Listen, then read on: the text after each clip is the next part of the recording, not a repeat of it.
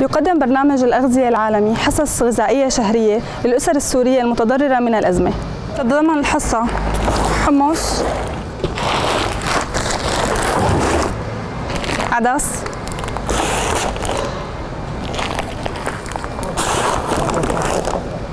فاصوليا بيضاء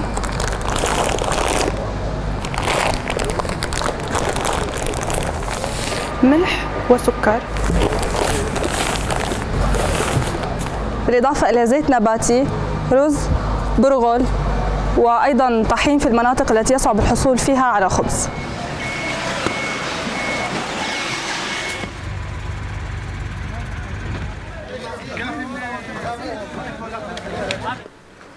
إحنا جينا من الحسكة وطبعا الأمور والإحداث هاي جرت علينا مي هينه وجانا فات علينا داعش دمر بيوتنا ودمر مساكننا ودمر يعني ما خلى علينا أي شيء.